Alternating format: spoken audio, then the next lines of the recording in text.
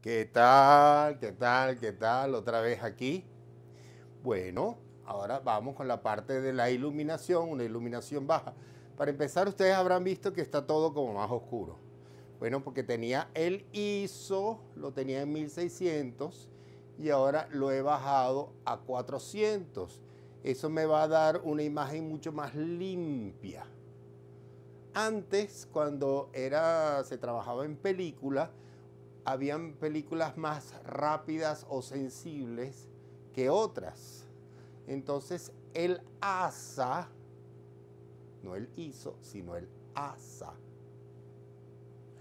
Este, el ASA variaba desde películas de 100 ASA a películas de 800 ASA y un poquito más, y había una forma en laboratorio de forzarlas. Ahora, eso te daba un grano bello, artístico, hermoso. Cuando tú le pides una cámara digital que trata de imitar lo que antes hacían las cámaras estas de, película, pues de celuloide, ellos te dan más sensibilidad, con, incluso hay unas donde no se llama ISO, sino se llama ganancia. Vamos a ver cámaras de esas también.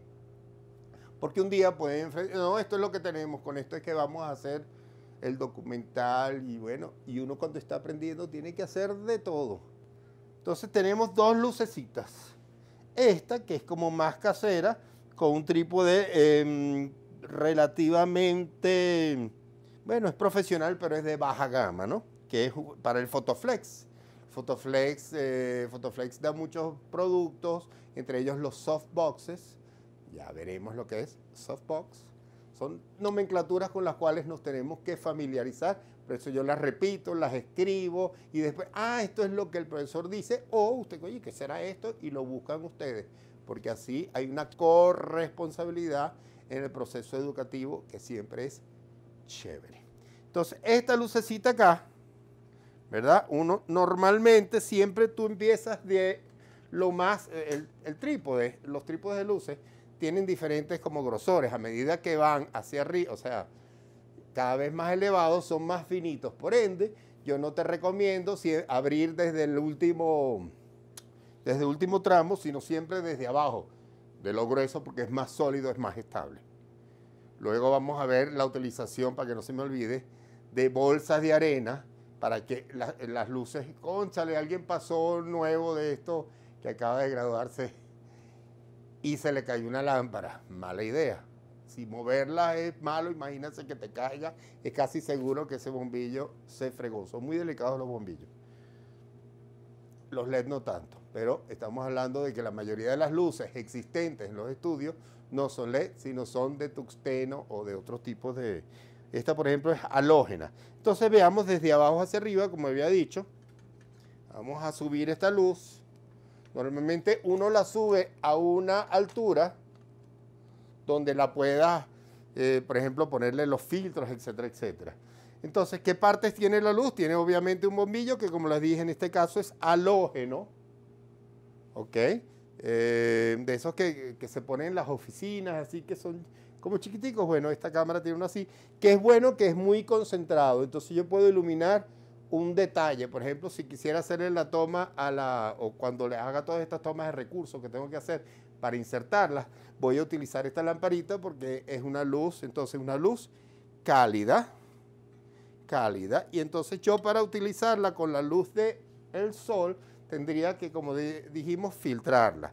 Los filtros, por ejemplo, si yo quiero que esta luz que es cálida se convierta en luz fría, bueno, obviamente no con un pedazo así tan grande, lo que pasa es que no lo pienso cortar ahora, yo puedo con estos clips de madera que hay en su casa, que son valiosísimos porque ya no lo hacen, usted puede pegar de las viseras, las viseras es ese, ahorita lo vamos a ver en una luz más grande y más profesional, para qué sirven las viseras. Sirven para que no para concentrar la luz, sino que para que la luz nada más haya un haz de luz o un sitio determinado iluminado. No quieres iluminar todo. ¿Ok? Entonces, para eso sirve. Y aquí entonces con estos clips de madera, que ya vamos a ver, si los tienen en su casa, vayan recogiéndolos. Vayan al abasto, compren unos de plástico y, y sustituyanlos y guarden esto, que esto vale oro. Entonces aquí, fíjense, Ya yo convertí esta luz en esto, ahorita lo vamos a ver prendido. Entonces les decía que este era un color muy común. El otro color común es cuando tienes una luz fría, de nuevo, no es que no caliente, sino de temperatura fría, por ejemplo, una LED que tenemos aquí, convertirla en luz cálida, que por cierto en la cámara sale como un icono de un bombillito de esos antiguos. Bueno, eso es, cuando se lo pones, te pone todo a su lado. ¿Para qué? Para convertir esta luz amarilla en luz como diurna. Ella siempre lo que está es convirtiendo. Ella no sabe lo que es blanco, tú le dices que es lo que es blanco. Vean. Luz fría. Y si se lo quito, luz cálida. No sé si se dieron cuenta. Vamos a ponerlo acá, que me ilumine a mí. Rostro. Uh, luz fría. Cálida, fría. Por supuesto que si le pongo la amarilla va a ser más cálida todavía. Esto si yo quisiera, por ejemplo, imitar un, un atardecer. Una luz de verdad, que estas ya están, esta luz debe costar con su trípode como 100 dólares. Ahora, es una marca famosísima. Esta, por ejemplo, este modelo es la ARRI 650. ¿Qué les parece si prendemos unas luces para ver un poquito más o abro el iris? Yo creo que las luces va a ser mejor. Ok, aquí están los contraluces. Una de esas, todos son luces caseras, los que puse allá arriba. Em, habían unos, unos zócates con unas pantallas en una tienda que se llama Ferretotal y costaban, entonces compré tres para hacer un pequeño kit de luces cuando no quiera salir con mis luces como más caras, pues. Entonces, esta es la ARRI 650. Verán que nada más ahorita tengo la iluminación esa detrás. Tengo como unos brillos de lado, eso los llamamos kickers. Kickers. Y el contraluz aquí, que también le dicen algunos eh, libros, luz de pelo porque viene de la traducción en inglés hair light y que bueno, te ilumina en este caso los parches de calvicie que ya tengo. Entonces, ARRI 650, vamos a ver las partes de la, porque esta es una luz ya profesional donde se aprecia más y lo que quería es ahora, tengo esta luz de este, estos contraluces y me gustaría tener más luz de frente. Más luz de frente, voy a prender aquí una luz LED y la otra luz para que me sirva de relleno. Entonces ahora sí parece una clase de iluminación, totalmente separado del fondo. ¿eh? Las cosas uno hace que salgan del fondo. Por supuesto, como es un desorden, no sé. Después tenemos una tela blanca y una tela negra. Vamos a hacerlo aquí en nuestro estudio improvisado. Ok, entonces mi amigo Telman me dio este, es un, lo que llaman un combi que son dos luces 650, obviamente un bombillo 650 vatios, casi mil vatios. Y eh, ella viene acompañada, es una maleta, se las voy a mostrar en su momento dado.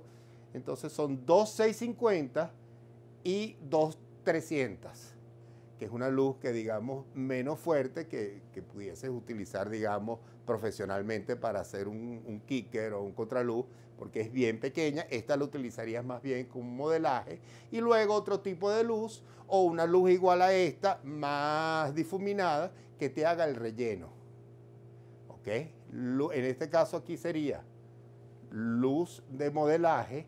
Esta que es un poquito más pequeña y más suave sería mi luz de relleno. Y mis contraluces, de nuevo, cuando vienen de los lados, se le dice kicker. Tenemos eh, un total de cinco luces más la luz de ambiente. Puedo apagar la luz de ambiente. Nuestro pequeño estudio. Espero que no esté muy bajito el encuadre. De nuevo, no veo hasta allá. Entonces tenemos esta ARRI 650. Ella tiene sus viseras. Uy, perdimos el relleno. No sé por qué. Ah, ellas vienen, ellas se usan con batería. Entonces las baterías, siempre hay que tener muchas baterías, como ya les dije. Dice que ahorita es como más dramático porque no tengo este relleno, sin embargo tengo este kicker. Una luz bonita para mí. Este, entonces está el barn door. Esta tiene una X aquí, no sé si la notan, porque estaba, había que cambiar el bombillo, ya se le cambió, ya esto se puede quitar. Entonces vean, por eso es que este está un poco más grande, porque esta luz sí necesitaría algo más grande. Yo puedo ponerle uno de estos clips acá y el otro clip, puedo usar este de metal para que vean que sí funciona. Ok. Ah, mira, quedó un poquito suelto aquí, me queda el tercer clip. Yo sí tengo bolsas de esto, pero ya saben, valen oro, esas no las suelto ni un segundo, siempre las tengo como un estuchito bien bonito. Entonces ya ella está filtrada. ¿Qué otra cosa tiene esta lámpara? Bueno, esta lámpara, de nuevo, no quiero prenderla porque son sensibles, los sensores de las cámaras son sensibles a una luz muy fuerte. No hay que poner una luz muy fuerte por mucho tiempo a una cámara, pues se te puede quemar el, el sensor o aparecerle pequeño defecto y entonces siempre vas a tener ese defecto y bueno, prácticamente perdiste la cámara, ¿no? Entonces, ella tiene primero un lente Fresnel. Fresnel, ¿qué significa? Ese lente lo inventó un señor que se llama... Ok, y ese señor inventó este lente que concentra la luz. Entonces, a medida que el bombillo está más cerca, la expande y a medida que está más lejos, la concentra. Eso sí se llama concentrar la luz. Y eso se hace mediante esta. Entonces esto mueve un carro, que no lo vamos a poder ver aquí, que mueve el carrito, es donde está el bombillo. De nuevo, siempre que esté caliente la luz, es bueno no tocarla mucho. Porque el bombillo cuando está caliente se vuelve muy sensible. Ay, irritable, mira, a mí no me toques. Si lo tocas con los dedos, lo mataste ay, vamos a ajustarlo y está frío, por supuesto, porque si no te quemas los dedos. Pero cuando está frío, tú le dejas ahí un poquito de grasa que hay en los dedos y eso es terrible. Chévere. De nuevo, esto es un repaso. Ya ustedes me darán en sus comentarios, mire, yo quisiera más ampliación sobre esto, quisiera ampliar más esto. Entonces, a medida que esto se mueve hacia atrás, se concentra. A medida que se hace, se difumina, porque eso es lo que te da esos aros que tiene el lente Fresnel que inventó este señor, creo que eh, francés. No vamos a usarla mucho, porque la idea es usar, eh, o sea, usar las luces más parecidas a las que ustedes tienen en casa. Todo hay que hacerlo con, con los recursos que tengamos. Y, bueno, yo les digo, mira, tengo una luz, esa, por ejemplo, yo hablé de más, lámparas movibles. Nadie le gusta que le muevan sus lámparas, sobre todo a las madres. Pero bueno, hay unas que tendremos que usar porque tienen esos faros que son un poquito más, eh, más fuertes y te van a dar otro tipo de iluminación. La idea es que ustedes aprendan a iluminar con lo que tienen por los momentos. Y bueno, yo creo que por hoy está bastante bien. Yo ahora chequeo el material, le pongo todos los inserts, edito las partes donde me volví fastidioso, mentira. Y les voy a poner ciertas fotos ahí que los ayuden. Por ejemplo, lo de la bolsa de arena. Tengo una bolsa de arena ahí que se está usando se la vamos a mostrar. Chévere. Bueno, muchas gracias por hoy. Eso es todo. La próxima semana les prometo que va a ser muy interesante. Sigan los links, sigan viendo videos, sigan aprendiendo, pregunten. Que si no lo sé en el momento, yo les diré, mira, voy a investigarlo. Ya hay gente que me ha hecho otras preguntas de otra cosa y si no lo sé, lo averiguo porque a mí me encanta aprender todo el tiempo. Y eso es lo que quiero inculcarles a ustedes, que si no lo saben, pregunten. Y si no pregunten, bueno, busquen la información donde sea.